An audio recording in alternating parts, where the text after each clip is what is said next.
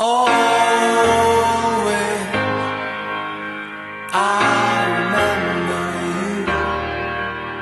Slow down, so I can follow you.